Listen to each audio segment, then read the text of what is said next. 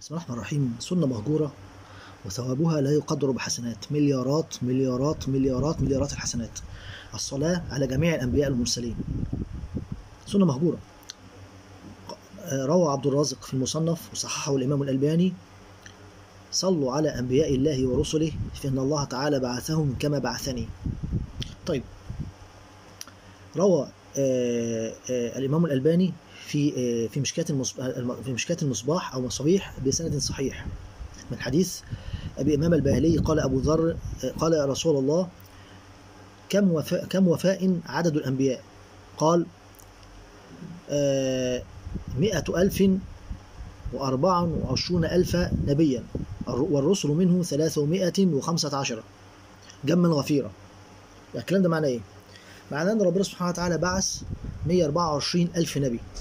منهم 313 نبي مرسل. طيب. لو أنت قلت اللهم صل وسلم وبارك على جميع أنبيائك ورسلك 10 مرات بعد كل صلاة. تعال نشوف بقى الثواب العظيم اللي أنت هتاخده. ربنا هيصلي عليك بكل واحدة منهم مليون ومئتين ألف صلاة. طب إيه الدليل على كده؟ ما هو لما إحنا بنصلي على النبي صلى الله عليه وسلم صلاة ربنا بيصلي علينا بيها 10 وفي حديث 70 وفي حديث 100 في حديث 100 صلاة. لكن خلينا في الصواب الأقل. لما أنت تقول اللهم صل وسلم وبارك على جميع أنبيائك ورسلك ربنا هيصلي عليك بكل نبي 10 صلوات. طب إيه الدليل على كده؟ الحديث اللي صححه ابن حجر الهيثمي وحسنه الإمام الألباني من قال اللهم اغفر للمؤمنين والمؤمنات كتب الله له بكل مؤمن ومؤمنة حسنة. فأنت لما بتقول اللهم اغفر للمؤمنين والمؤمنات تاخد مليار ونص حسنة. أو بمعنى أصح 15 مليار حسنة لأن الحسنة ب 10 لأن أنت أصبت بدعائك كل المؤمنين على وجه الأرض. كذلك لو أنت صليت على جميع الأنبياء والمرسلين هتاخد بيهم كلهم ثواب صلاه صلاة وحسنات عليهم. طيب نضرب بقى 124 ألف. في آه 10 يبقى ربنا هيصلي عليك مليون و240 ألف صلاة. طب لو أنت كررتها 10 مرات يبقى هيبقى 12 مليون صلاة. في خمس صلوات 60 مليون صلاة. فيما لا يتعدى الدقيقة بعد كل صلاة. اللهم صل وسلم وبارك على جميع أنبيائك ورسلك. اللهم صل وسلم وبارك على جميع أنبيائك ورسلك وتكررها 10 مرات. والباب مفتوح.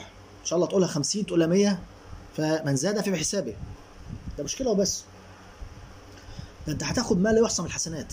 روى أبو داود في صحيحه من صلى علي صلاة كتب الله له بها قيراطا والقيراط مثل أحد. وزن جبل أحد 45 مليار طن. 45 مليار طن.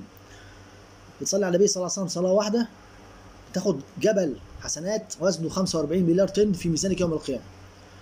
طيب هو كلهم أنبياء ورسل. فيرجى نفس الثواب بالنسبة للأنبياء. يبقى هاخد كام جبل حسنات؟ لو صليت على 124 ألف نبي.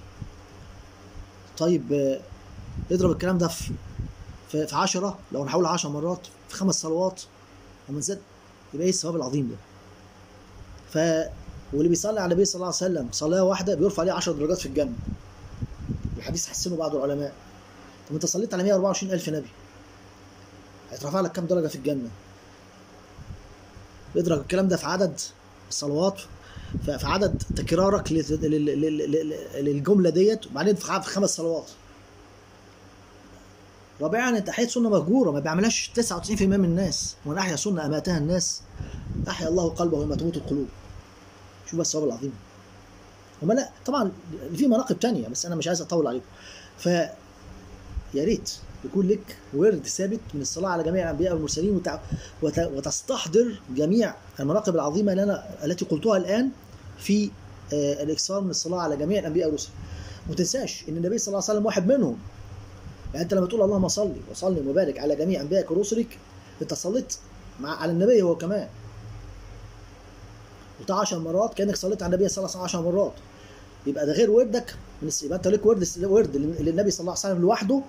وبعد كده ورد لجميع الأنبياء والرسل. داخل فيهم الرسول برضه صلى الله عليه وسلم.